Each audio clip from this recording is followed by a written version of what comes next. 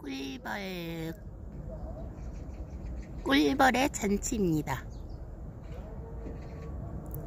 노란 복수초꽃에 꿀벌이 꽃을 빨고 있습니다.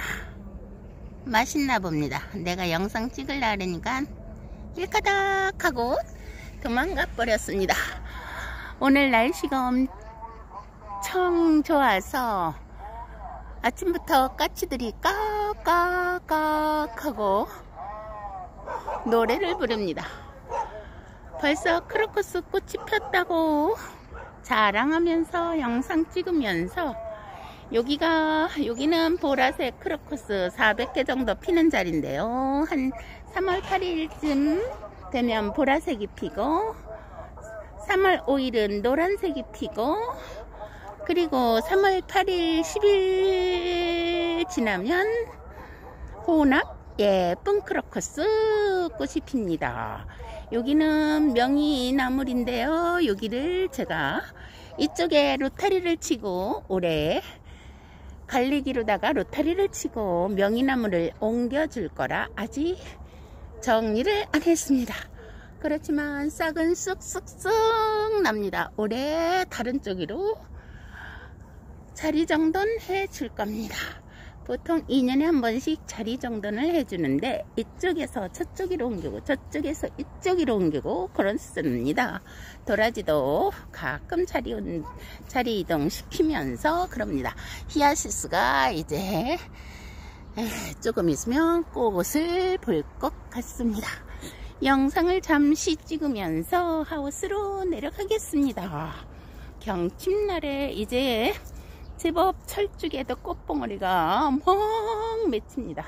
진달래하고 철쭉의 비교는 진달래는 꽃이 먼저 피고 잎사귀가 나는데 여기에 이런 것도 심어놓고 그런데 철쭉은 꽃 먼저 잎, 이파리 먼저 이렇게 보이면서 꽃이 피는 거랍니다.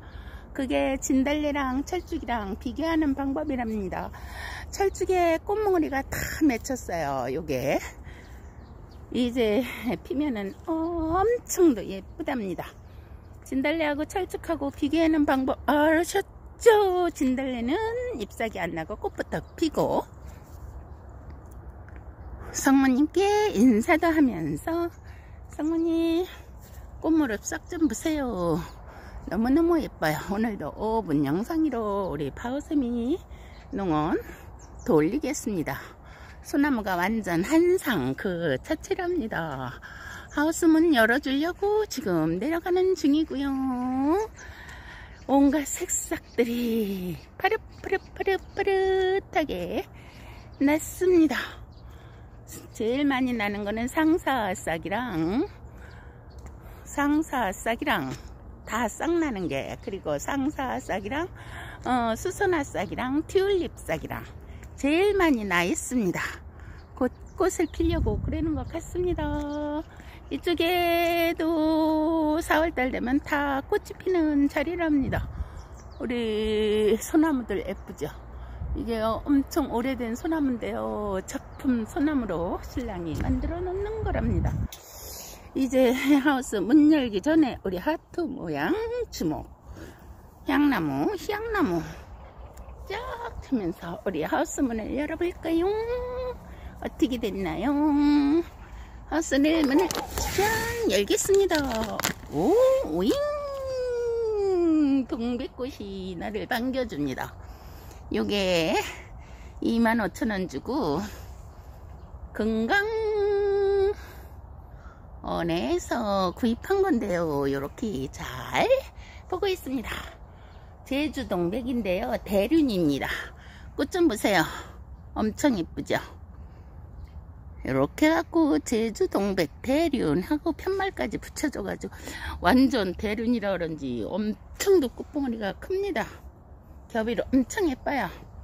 씨 뿌린 거 잘 쪽파가 하루가 다르게 요즘 쪽파 엄청 엄청 비싸다 그랬는데 우리 집에는 이렇게 쪽파가 하우스에서 아주 잘 큽니다.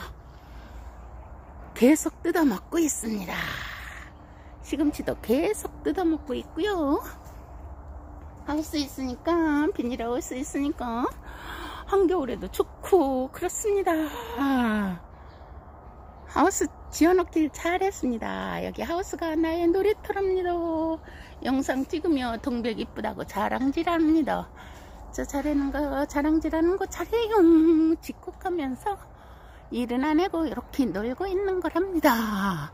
오늘도 6분 영상으로 바오세미 농원에서 한 바퀴 삥 영상 찍으며 놀고 있습니다. 오늘은 이 경칩날에 하늘도 파랗고 나무들도 이거 우리 나무랍니다.